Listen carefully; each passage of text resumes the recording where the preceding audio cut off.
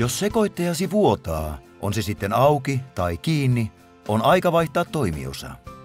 Jos sekoittajasi on mallia, jossa juoksuputki ja runko ovat yhdessä ja se vuotaa vain vettä laskiessa, on niin kutsutut uratiivisteet vaihdettava. Jos sekoittajassasi on pesukoneventtiili ja venttiilin alus on märkä, on toimiosa vaihdettava.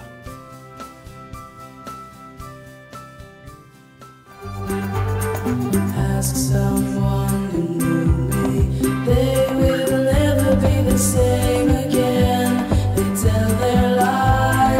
something